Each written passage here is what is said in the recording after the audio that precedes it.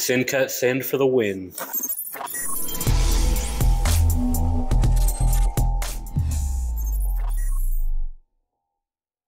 Welcome, Simple Rudd. Now, in this episode, I plan to start test fitting to see if, well, my mad science is correct or not. Now, as you can tell, I haven't painted anything, and that's because with custom parts, I'd like to test fit, make sure I don't have to make any modifications because I don't want to have to make modifications after it's painted. And I definitely don't want to modify painted parts and do touch up. None of that. I want to verify that my reverse engineering is close enough that it all goes together the way I want it to. And I can't really do that without putting it together. Now, if you're enjoying this build series and you look forward to the more videos I got coming out, please like and subscribe this video and comment down below with, you know, your thoughts on the build or what you do differently or anything like that. Now, before I take this out and start, you know, throwing things together, I want to follow up on SendCutSend. Now, if you recall, if you watched one of the previous videos, I got some custom parts from SendCutSend, and one of them didn't have tapped parts. I opened that package and found out the day before Thanksgiving. It was Wednesday. I reached out to them at 5 p.m. on Wednesday. They got back to me around 9 p.m. Yes, 9 p.m.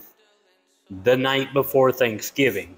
And all they wanted was some pictures to see, you know, how they missed it in their process, right? Kind of get the idea of basically call me on my BS if I'm making things up. Now, at that point, I had already put plastite screws through some of the holes that weren't tapped, but I did still have some that, you know, I didn't have the right size for, so I didn't even touch those and sent the pictures. They started processing my new replacement part on Thanksgiving. On Thanksgiving, they started me a new part. Within a week, I had the replacement part at no charge. And it was as simple as that. Two emails. All I have to say is SendCutSend. I am forever a loyal customer. That is customer service. And that is amazing to see. Now, that all being said, I'm not sponsored, even in the slightest. I don't know when you're watching this video, but currently I have like 400 subs. I'm not a big channel by any means. I paid for all of this. And it will probably pay for this channel going forward is, well, it's all my personal stuff, so why not? So I do want to say this is honest feedback, and so far I'm very happy with their customer service, their product, and their usability on their website.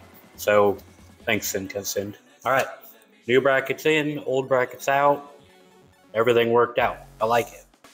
Now, the one thing about doing the channel the way I am going to be doing it going forward is at times my stuff's not going to work out. And, you know, I've got to show you that process. This is not perfect by any means,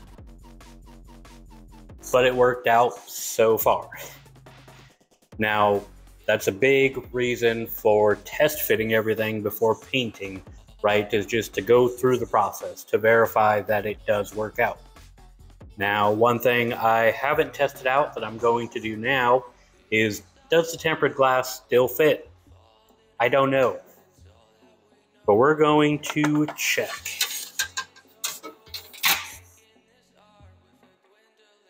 Here's the front one.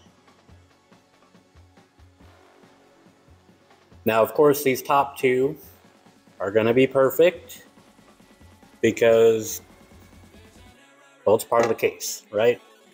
The question is, did I get the third point close enough? Now, one saving grace on this is the through holes on the tempered glass are, well, oversized to say the least. And I have a decent amount of wiggle room and that might be necessary.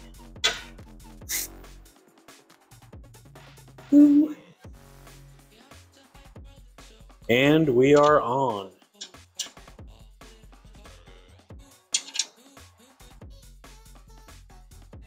And the nice thing is the back hole and the front hole match. So if the front fits, the back fits. And she's on there. Now, that being said, I am a little off. This one is not even close to center. Not even a little bit. But I think if you moved it around, you could probably get it closer. However, that doesn't really matter. You're not going to notice. And that is one of the good things about the way they designed these mounting holes in that mounting bracket. Well, yeah. The mounting points, points at which it mounts. They're good ish. And of course, you got the little rubber grommets as well to protect your tempered glass, which is also nice.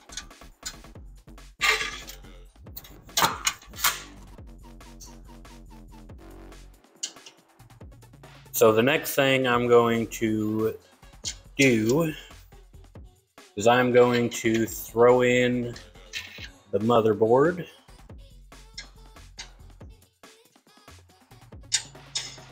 And then maybe mount this reservoir, maybe wait.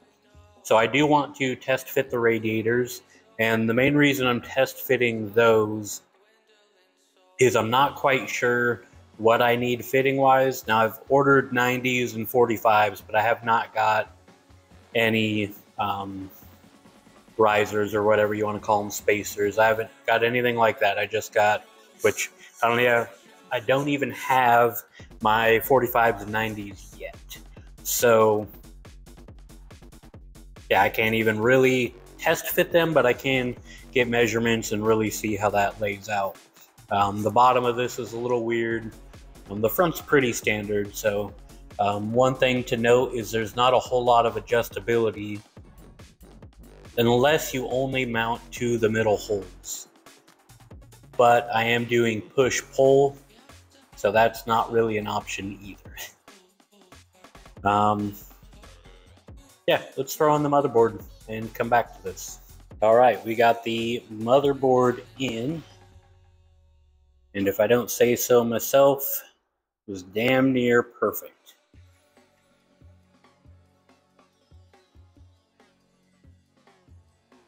I'm a little off in some places, but to be fair, I didn't actually plan on this. I kind of just put enough material around the post to hold them in place, right? To make sure I had enough for tapping and threading and all of that.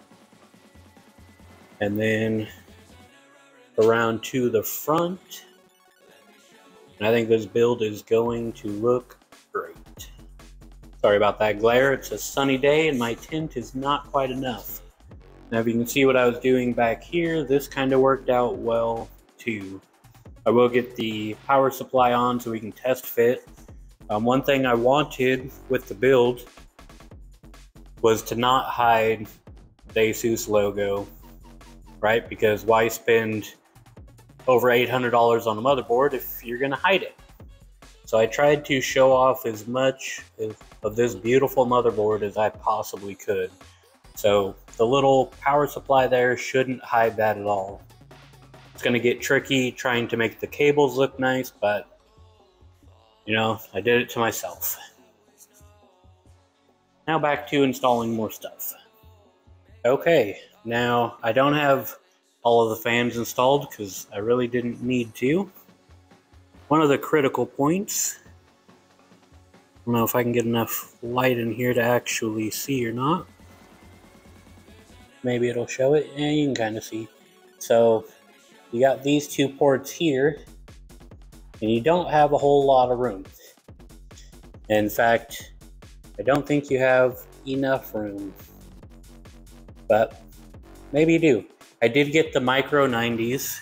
In worst case, what I can do is I can flip the radiator around and have the tubes come out the bottom because I do have plenty of room for tubes to come out the bottom.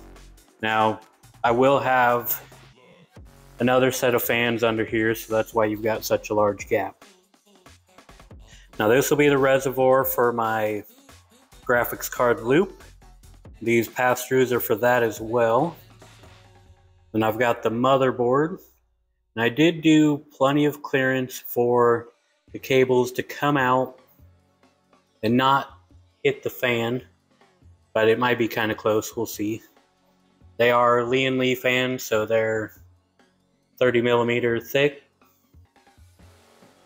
Maybe these ones aren't 30 millimeter.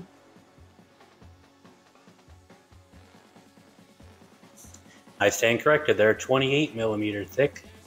They are the P28, so that makes sense. That was my bad. I'm tired. It's been a long day.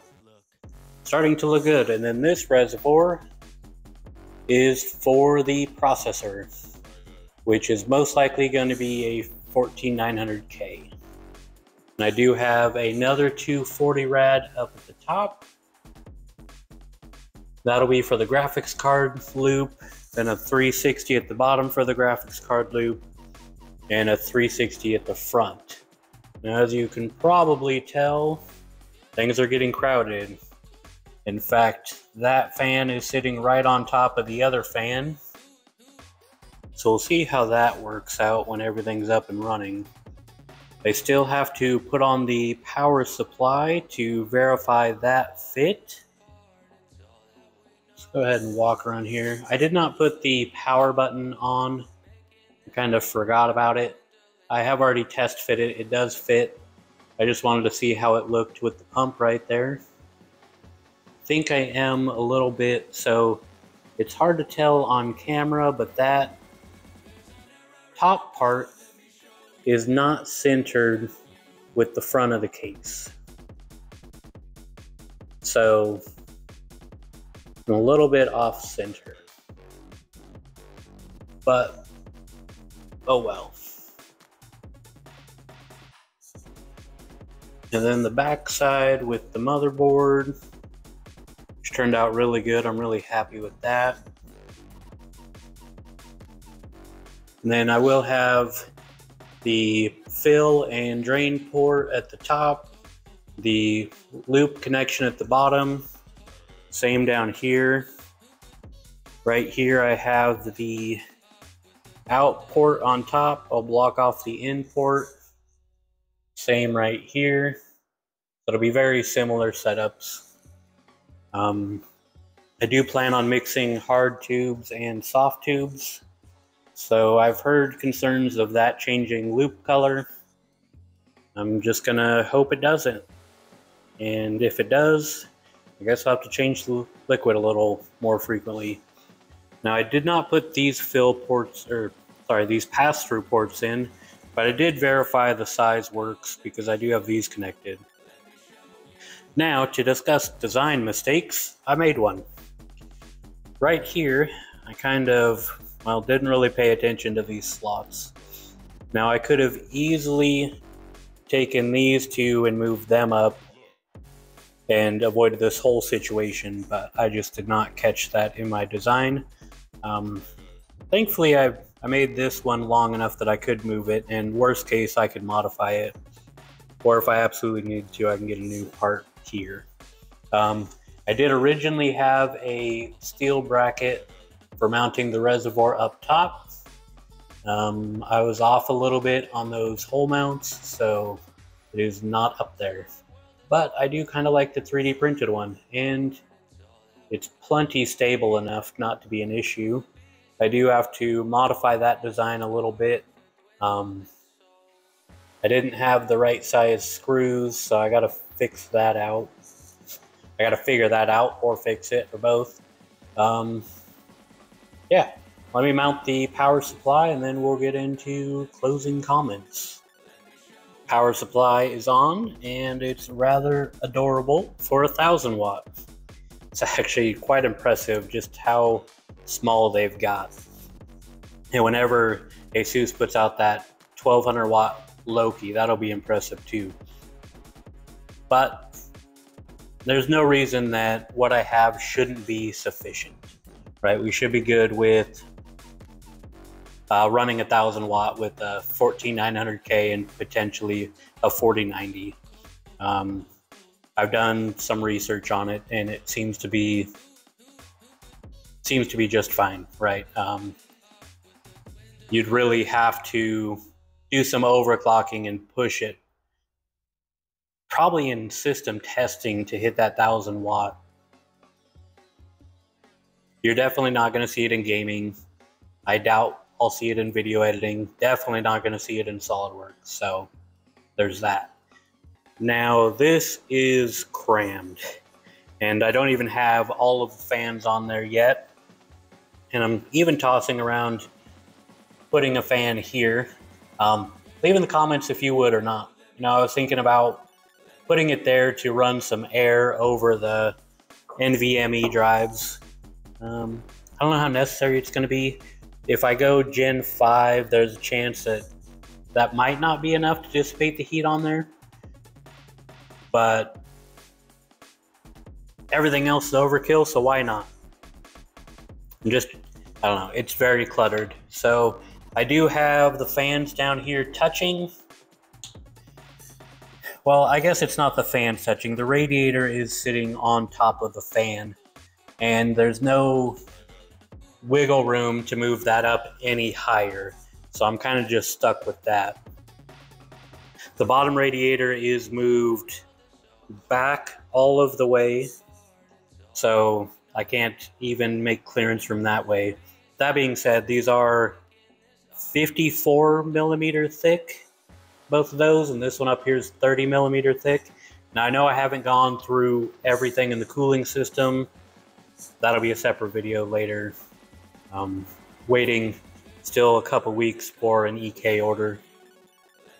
Now my next step off of camera is to go through and figure out kind of cable routing. Um, maybe I'll do a video on that too. I, I'm going to do some CableMod cables, but they're going to be custom and I want to figure out proper length and kind of how we're going to figure that out. So the cables can come through here. I have a droppage so they can come down here and then they can either shoot right back and up and around and out here or they can go down, up, and around here and connect there. I do have cables that have to come up and out here. And then, you know, you've got the graphics card, which will have connectors here. It's a lot to figure out. So maybe it is actually a full video's worth kind of show you my thought process. And then when it works out or not, you'll know whether to follow what I did or not. Uh, I did set this up so that I can flip this power supply either way, right? I I can have the fan, I can have the fan up, but then I have the graphics card that could potentially be hot air, which I don't think I'm going to get much from down below. Either way, I have this designed to cover that. This look cool when it's painted, kind of give it that little bit extra as well. Once I figure out the cable length, then I can go through and completely tear this down, get everything back in the boxes, and I can start painting everything. Um, there's a lot. Uh, pretty sure I plan on painting every piece of metal on the case and all of the 3D printed parts that I created for sure will get painted. Um, no need to paint the reservoirs. Um, I hid most of the logos. I might paint or replace the screws. Um, the the motherboard does have some chrome, but I don't think it's going to be too bad to detour from the color theme. At least I hope not, because you know with the Assassin's Creed, it is gold, right? All the logos are gold. Um, I think I've talked enough on this video, gone over a lot. If you have questions, you know, uh, post those down below too. I'll do my best to get back to you on those and and kind of give my thoughts on the process. Don't forget to like and subscribe, right? Um, I appreciate you guys viewing and hanging in there and watching me struggle bust this build. I like to overshoot my capabilities and grow quickly. So We'll see how that turns out in the end. With that, thank you.